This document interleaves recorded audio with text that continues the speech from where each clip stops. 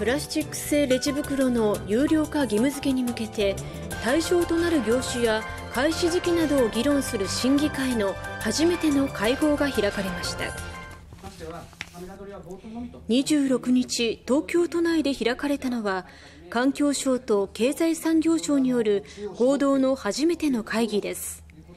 プラスチックごみによる海洋汚染に対する国際的な取り組みが進む中会議では冒頭すべての小売店を対象に早ければ来年4月からの義務化を目指す方針が示されました。これに対しコンビニ店などの業界団体や有識者の委員からは準備期間の短さなどを理由に開始時期の再検討を求める意見が相次ぎました。今後は引き続き関係団体へのヒアリングなどを行い11月中に申請度案を取りまとめる方針です。